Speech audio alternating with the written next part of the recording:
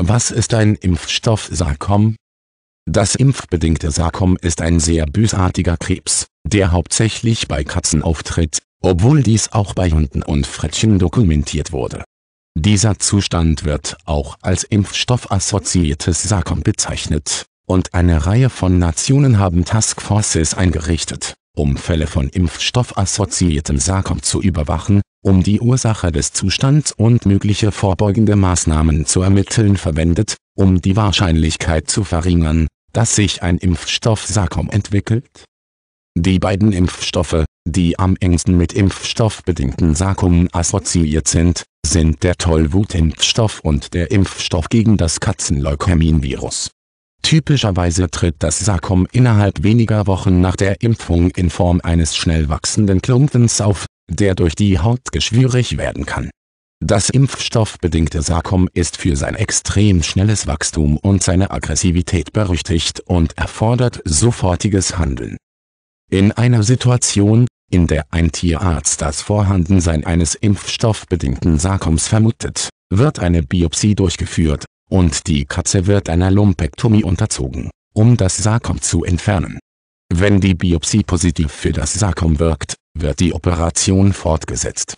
Viele Tierärzte schneiden gut am Rand des Tumors ab, um sicherzustellen, dass sie nicht wiederkehren.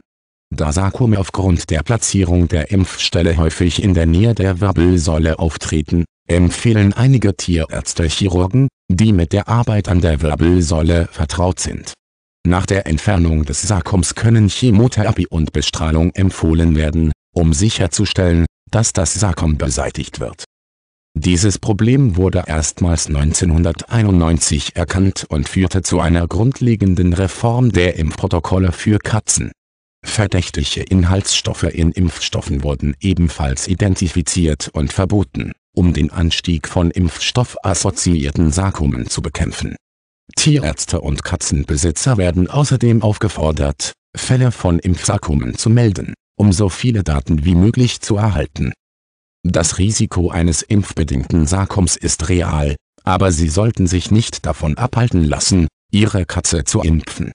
Besprechen Sie mit Ihrem Tierarzt die für Ihr Haustier empfohlenen Impfungen gegen Katzen und fragen Sie nach seiner Meinung zur Häufigkeit der Impfung. Einige Forscher vermuten, dass das Risiko für ein impfstoffbedingtes Sarkom durch wiederholte Impfstoffe erhöht sein kann. Wenn Ihre Katze ins Freie geht, ist die Impfung gegen Felf und Tollwut nicht optional. Diese Krankheiten sind fürchterlich schmerzhaft und unangenehm, und obwohl das mit dem Impfstoff verbundene Sarkom tödlich sein kann, ist das Risiko einer Infektion mit Tollwut oder Felf es nicht wert, einen benötigten Impfstoff auszulassen